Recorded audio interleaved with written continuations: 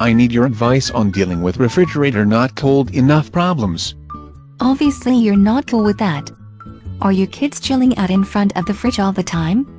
No, I make sure they close the door. Make sure there is not a leak in the seal or something stuck in the seal like a magnet, letting the cold air out. I know that is not my problem. Make sure the kids have not been playing with the temperature controls on the fridge. I already checked that. Check that the temperature in the fridge is what the thermostat says it is. If the thermistor is broken or just covered in something, it may not read right. What on earth could it be coated in? If the thermistor was covered in ice due to a refrigerant leak or being too close to an ice maker in the door, it would read too cold compared to the rest of the fridge.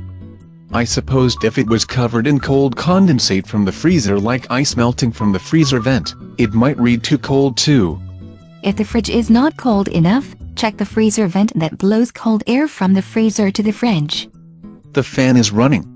That does not matter if the vent is blocked by the frozen dinners you stacked in there or frozen over. You'd think it defrosted once in a while. If the defrost heater is not working, that could explain why the vents are frozen over. I wonder if the defrost heater is stuck on and overheating the fridge.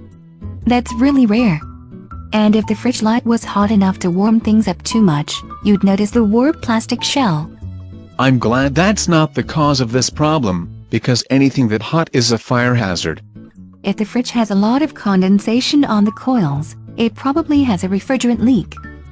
A refrigerator with a refrigerant leak becomes an old-fashioned icebox real fast, with me throwing in 20-pound bags of ice to keep food cold. You could try dusting off the coils to improve their efficiency. I would not be surprised if the dust bunnies are breeding a whole colony back there, but I doubt it could really get dirty enough to make the fridge less frigid.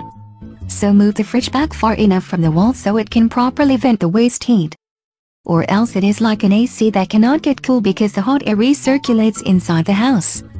And if it does not work, then I feel less stupid for calling an appliance repair guy to do the same thing.